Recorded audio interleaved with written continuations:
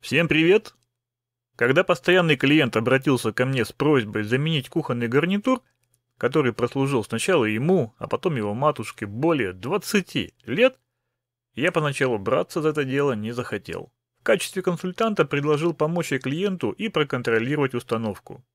Но приехав и осмотрев гарнитур, мы вместе с клиентом пришли к выводу, что гарнитур еще в очень неплохом виде, а шкафы и тумбы имеют состояние практически новых. И по сути гарнитуру требуется только в первую очередь замена фасадов, а во вторую – замена фартука и столешницы.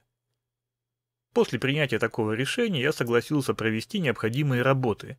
Мне захотелось весь процесс описать и заснять до мелочей потому что я посчитал необходимым показать хозяевам и хозяйкам, как можно облагородить кухонный гарнитур, вложив в эту процедуру относительно небольшую сумму.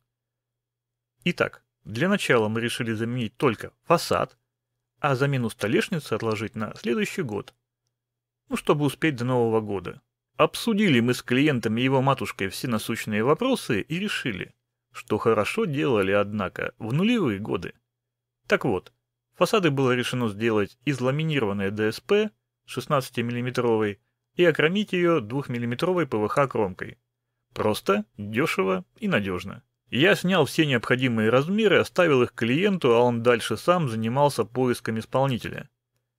Проходит несколько дней, и возмущенный клиент звонит и, выражаясь пятиэтажным матом, рассказывает такую историю. Обзвонив несколько контор и облазив интернет, Выяснил, что нужные мне цвета в наличии есть только в одной конторе. Позвонил туда, пообщался, и мне предложили по почте скинуть размеры, что я и сделал. Проходит три дня, и мне на почту поступает такая информация. А к этому сообщению вот такие чертежи. То есть для того, чтобы сделать пару деталей, бери целый лист и забирай обрезь. Это как? спрашивает он. Вот такая история.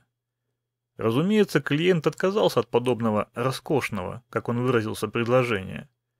И уже я, взяв на себя решение, заказал в другом месте. Но оцените, каков подход. Однако ничего плохого сказать про такой вариант я не могу. Потому что, коли он существует, значит кто-то пользуется подобными предложениями. Согласитесь. Но однако необычно. Вот мне это напомнило магазин по продаже тканей. Представьте, приходите вы в этот магазин. Хотите купить 5 метров, ну, к примеру, на пальто. А вам говорят, мы продаем только рулонами. Используйте, пожалуйста, свои 5 метров, а обрезь метров так 20 или 30 забирайте. Она нам не нужна, используйте как вам угодно. Забавно, не находите? В итоге выбор пал на. Работаем вот с этим производителем. Для того, чтобы заказать распил ЛДСП, нажимаем вот сюда. Есть такой раздел распил ЛДСП на детали. Выбираем прямоугольные детали. Открываем конструктор попадаем на такую страницу. Здесь мы выбираем цвет, интересующий нас ламинированное ДСП. Вот цвета, цветовая гамма. Выбираем необходимую нам толщину. Выбираем необходимого производителя. Виды декоров мы выбираем древесные. Ну, давайте, к примеру, возьмем а, орех.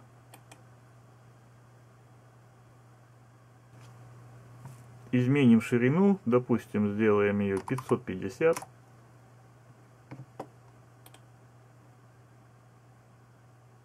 Изменим высоту, сделаем, к примеру, 710. После того, как мы размеры задали, указываем, нужна ли нам кромка. нам она нужна. Выбираем толщину кромки из двух вариантов 0,4 мм и 2 мм. Выбираем 2 мм.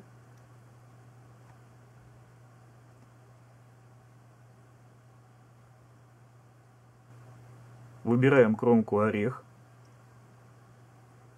Применить ко всем сторонам. Рекомендация самого производителя. Нажимаем. В этом углу у нас появляется информация, что кромка располагается на левой, правой, верхней и нижней сторонах, то есть полностью в круговую у нас окромлено. Теперь смотрим налево. Обращаем внимание на то, что изображение у нас обусловлено как вид спереди. Мы можем поменять его на вид сзади. Ну, оставляем вид спереди, так как мы это видим. Что мы можем здесь сделать? То есть, что нам позволяет сделать этот конструктор? Вертикальный паз, горизонтальный паз, мебельную петлю, то есть установочное место для мебельной петли, установочное место для стяжки минификса, для стяжки полкодержателя, для шкантов, торцевых шкантов, конфирматов, конфирматов торец, евровинтов, мебельных ручек, отверстие под рейлинг и разметочное отверстие под саморез. Нас интересует в нашем случае только мебельная петля. Перетаскиваем.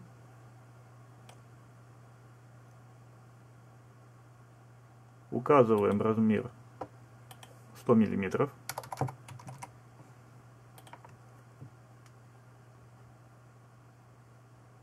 Сто. Нам нужно петлю снизу, делаем ее снизу.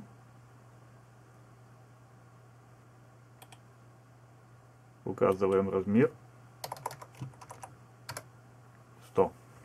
Итак, наша заготовка наши размеры, две петли.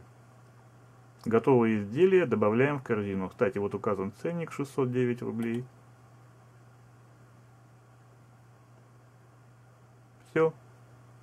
Наш товар в корзине. Вот таким вот образом все просто и чрезвычайно понятно. Поехали дальше. Наш заказ обошелся в 6810 рублей и еще 500 рублей попросили за доставку до адреса. Это за 13 кромленных деталей из ЛДСП. Перед оформлением заказа на сайте производителя мы с заказчицей посетили офис организации для того, чтобы утвердить выбранные цвета, что мы удачно и сделали.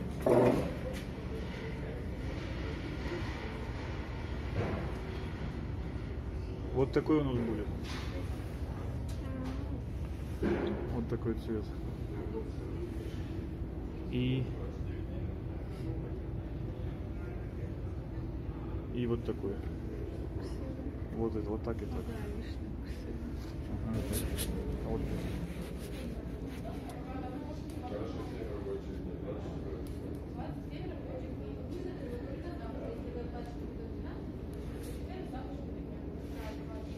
Четко, в указанный при оформлении день и время заказчицы привезли заказанный материал.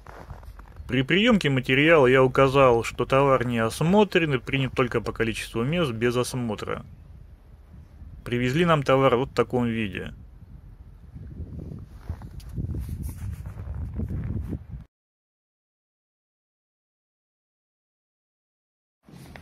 Далее мне предстояло проверить все детали на соответствие размерам, цветам, качеству изготовления и, естественно, кромления. К размерам, цвету, качеству изготовления досок цвета диванширский дуб претензий нет. Посадочные места для петель сделаны четко согласно указанных размеров. 100 мм плюс 2 мм кромка из ПВХ. Итого наш размер 102 мм, что мы и видим. Качеству кромления никаких претензий.